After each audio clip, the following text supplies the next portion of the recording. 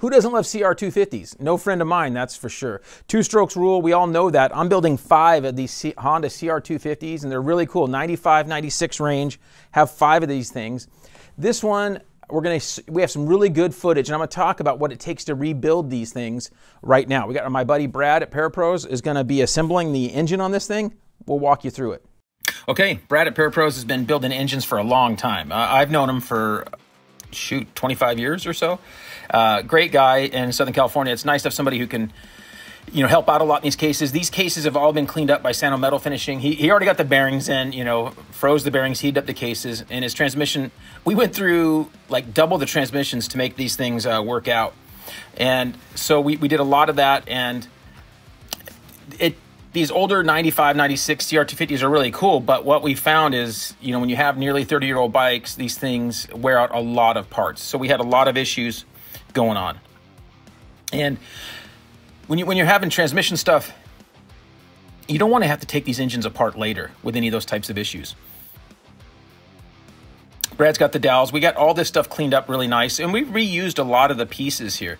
Um, when we cleaned up the cases, basically, uh, we're doing five of these bikes for those that don't know at one time. And this one's one of the later ones, and we kind of did four and five together at the end. And these things needed some welding. Every one of them needed welding or some type of case fix in some way. We got new gaskets. Uh, we got Cometic here, and our crank. What we did is rebuilt the crank. The we rebuilt the crank with uh, Andrew Langston's. Uh, he rebuilt the crank for us, and we did a couple different crank styles. We did the OEM crank with a tin can. This is a Pro X crank that we put a Pro X rod on. Um, so we got the Pro X rod on there, which is really nice, high quality Japanese bearings. Brad likes to check everything, so we got everything sealing well when we're doing these things. Nice soft hammer, and you can get these cases right back on. And a little bit of heat on that inner bearing race. We can use a piece of lead to heat up the inside of the bearing. You can get that piece of lead hot and then put it through. Now you're going to see this a bunch throughout the video, but Spec Bolt has bolts for this entire engine, and it's a nickel look, really cool look on these things. So and Brad uses a gun to get a lot of these things down because he's you know doing, going so fast, doing so many of these things. He's got a good feel for it. He has different settings on the gun, um, and then he'll always you know usually check them by hand uh, when he's completed.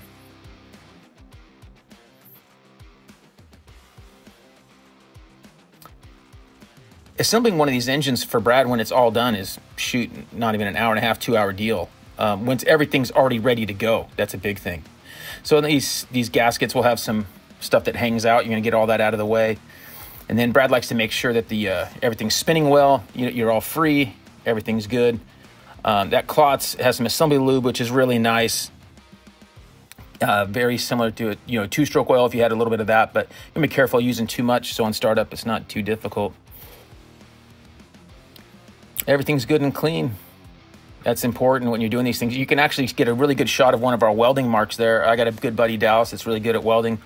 Um, and, and, it wasn't cracked like all the way through, but we wanted to make sure that uh, there was no issues there. So we got that one welded up nicely in the case there. And these older bikes, that stuff happens, unfortunately, and you got to patch them up. It's getting really hard to find parts and find parts for a good deal. This will probably be the last time I do some of these older Hondas anyway. We'll move on to something else after these. power valve works off a little governor here, and uh, Brad's, Brad's, Brad's got this stuff memorized, kind of how everything goes.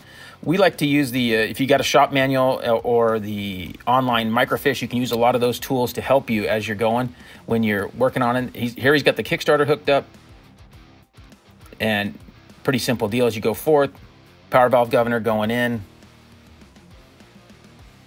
just like so. that little arm going down to touch the power valve governor is what will actuate the power valve within the cylinder. We got our Rekluse clutch basket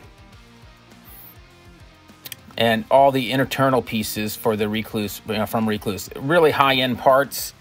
Um, we could have used some of the stock pieces, but it was really nice. I work with Rekluse, so it was really nice to get some really high-quality pieces in these things and they give you a washer, a, a, lock washer that when you go to put it on, and we use like a, a high thread locker on here. You want to use a high strength thread locker when you go to put it on. Motion Pro has some really cool tools that Brad uses a bunch of, and you can see it's, it's really helpful when you go and assemble these engines to have the nice tools like that. Air gun is nice. Uga Chuga, as we call them. And then Brad can bend that uh, washer around.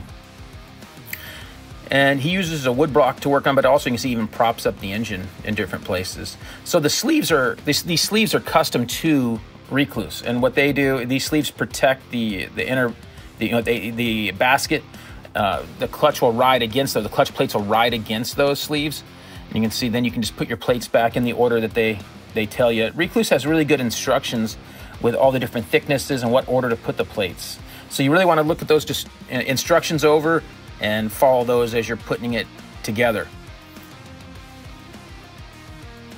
So just like so. Now the, the TorqDrive has additional plates in stock. So we got all those in there. Really nice fitment. And we got the little, we call it the top hat piece, the last piece there that'll ride against the pressure plate. And then they give you a, a different springs to run that are custom to the Rekluse setup. And as you can see, the, there's special washers that fit within those springs as well. So it's important to use those. get our AFM uh, Cometic gasket, which is really nice. Kind of metal with a foam cutting coating on it. We really like, like that.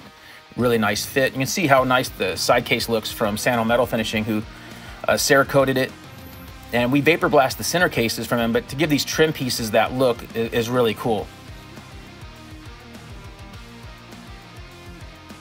Get all new gaskets for the water pump. Brad's so strong he can just punch that cover on. Pretty cool, huh? And these spec bolts, again, look really cool going around. And you can see that one bolt has a little brass washer. That's a, that's a drain bolt for the water. Then we got our oil one as well for an oil check. We got the Rekluse cover going on. Brad's holding that thing centered. Okay, so here the stator. This is really interesting. Uh, these older bikes, it's getting hard to you know find some of these electrical parts. This RM stator, they're out of Canada, um, and they have uh, new stators for these things and top coil as well. So we did both of those on this bike, and look like really quality components. So we got those on there, and we cleaned up our flywheel. We actually vapor blasted that. That bolt there on the for the counter shaft, we uh, got a new one coming, so it's no problem.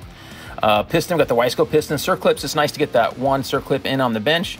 And you get a feel for those circlips to where they sit down nicely. You want to be really fully opened up. If anybody's ever lost a circlip coming out, it's because it's just usually 99% of the time improper installation. So you want to make sure you get it well. And again, the assembly loop from Klotz works well a lot of places like this, anywhere critical. So we'll have it on the wrist pin bearing. And the circlip, as you can see, Brad likes to get it going right there. And make sure it's fully seated. Again, again, assembly lube across the rings where it's going to touch the cylinder, and uh, you can have a little bit in the cylinder as well. Here you can get a good look at how, how nice our cylinders came out. Tom Morgan's one that ported these and got everything specked out. Those numbers in the piston are from when he gets it uh, plated, uh, replated from Millennium. And he's got the power valve already all assembled. Unfortunately, I don't have that. I showed that in a previous Instagram video, assembling the power valve and some of those tips but and putting studs in, now all that kind of stuff. So we have all that stuff ready to go here. And Brad likes to get a little bit of uh, gasket seal. That's like Yamabond at the base right there so that it doesn't ever blow out front or back of the uh, base gasket. Those are little areas. And again, getting some assembly lube in the cylinder. A lot easier putting this stuff on when it's on the bench than, than not, you know. Now right there, you're making sure that that arm is lined up perfectly with the power valve and the cylinder. I've seen guys bend those over the years, and I can say that uh, years ago, like in the early 90s, like 92, 93, I think uh, we actually did one. I remember that. And uh, so you, it's a pain to get it fixed or get buy a new arm or get that one welded. Uh, so you don't want to do that. So make sure you're lined up as that cylinder goes down onto there. Then you're gonna snug up all these base nuts. And a lot of these guys, you know, you're welcome to torque these properly, but uh, usually just fully good and you know good and snug is, is great on those. You, the, the head nuts are much more critical to torque than the base ones. and you're going to torque those. There's different settings, so but 22 to 25 foot pounds. You can look up what's specific for your bike, and uh, and get it get it set up. It's the same torque wrench that I have. It's about as old as, well, it's older than uh, any of my kids, which is really pretty cool, right? So here we're wrapping up the engine. Again, those covers look nice and having those trim pieces like that is really cool. Did the fi final settings on the power valve now that everything's together. And get our power valve cover on. It's pretty awesome how well Brad works in this, and it's hard to believe how quick he can go with these. And you know, tear down is uh, most of the work on this engine was done when it was all apart. You know, getting the cases done, getting the bearings in the cases, all those types of things. That's all actually way more time consuming than than you might think. So that's a look at it. Pretty nice, isn't it? There it is. We got our V-force going in. Ready for the engine to go in the frame. Oh, she's a beauty. You like that silver frame? Okay, so if you made it to the end of this video, that's pretty dang good. That means you're really dedicated to watching some cool two-stroke engine build.